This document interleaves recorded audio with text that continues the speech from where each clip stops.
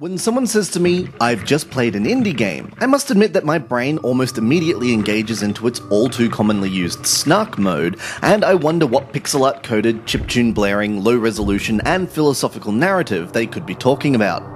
Truth be told, while many gamers may make fun of these experience driven titles, they approach gaming as a media in a way that can result in a far deeper sense of satisfaction than simply breaking bricks with your head.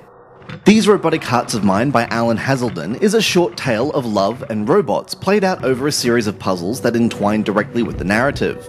Your task on each of the puzzles is to simply use rotating gears in order to shift and align hearts so they all point upwards. The way in which the game's mechanics mirror the actions of the characters in the story help to engage the player, making the later stages all the harder to complete, not just because they're more challenging, but because of what they represent in terms of the narrative itself. Should you find yourself truly engaging with the story, the final scene is sure to pull at your heartstrings.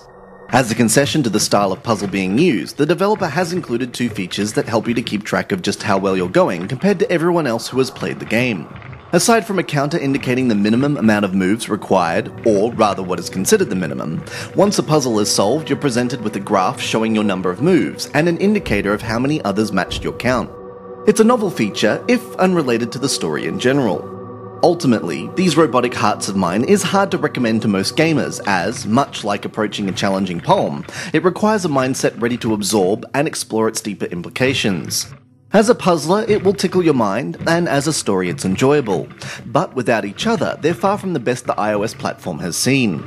Caution is advised, but should you engage fully, it's a magical experience to absorb and enjoy.